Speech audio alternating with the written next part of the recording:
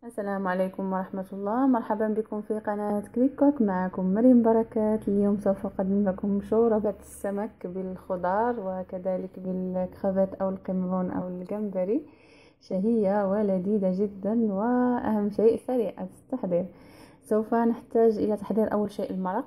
نحتاج إلى الباقة من الكزبرة والمقدونس. قطعة من الجزر. قطعة من البصل. وهنا إما رأس السمك أو الشوك أو يعني أي شيء من متبقي من السمك.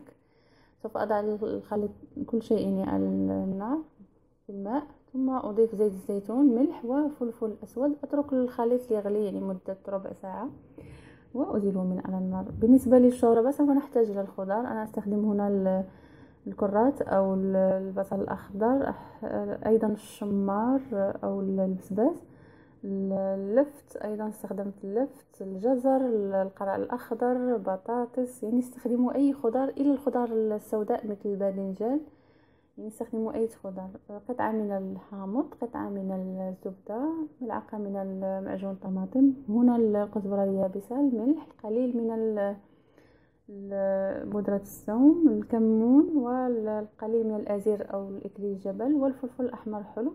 هذا كرافات أو من اختياري الحوت الأبيض والكرافات يعني على حسب المتوفر وقطعتين من الطماطم ملح وفلفل أسود. أول شيء سوف هنا أضع زيت الزيتون مع الزبدة على قدر. بعد سوف هنا أضع جميع الخضار وأحاول يعني أن أحرك حتى يعني تندمج مع بعضها البعض. يعني استخدموا أي خضار متوفرة لديكم. تجنبوا فقط يعني الخضار السوداء اللون. وأضيف هنا التوابل.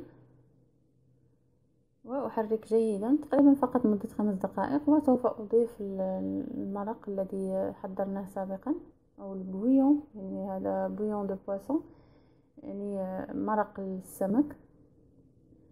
أضفت كذلك قطعة الطماطم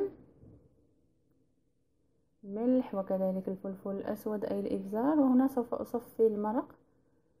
يعني يعطي نكهة جميلة للشوربة يعني وتركيز جميل للشوربة. أتركها لت... يعني تطهى تقريبا خمسة عشر دقيقة كافية. بعدين سوف أطحنها.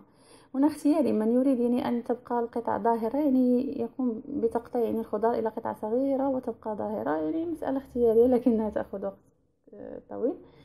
لذلك أنا هنا أضفت القمرون والكرافات أو الجمبري وكذلك قطع السمك أضعت فقط الفيديو الذي يبين أني وضعتها وضعتها بعد أن طحنت يعني الشوربة.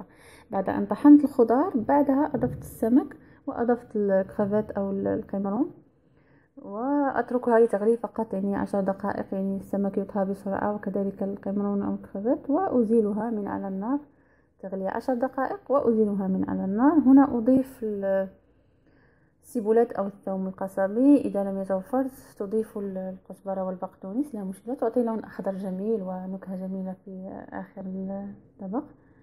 وأقدمه أو أقدم الشوربة بالهناء والشفاء. لمن يحب يعني طعم الحموضة يمكن يعني أيضا أن يضيف قليل من قطرات من عصير الحامض أو الليمون. يعني تبقى المسألة اختيارية. وأقدمها على هذا النحو. وأتمنى أن تنال الوصفة إعجابكم. لا تنسوا أن تزوروا موقع القناة www.clickcook.com سوف تجدون وصفات أخرى. وأن تضغطوا عفوا على زر لايك إذا أعجبكم الفيديو وعلى زر الاشتراك لتتوصلوا دائما بالجديد. أشكر متابعتكم. والسلام عليكم ورحمة الله.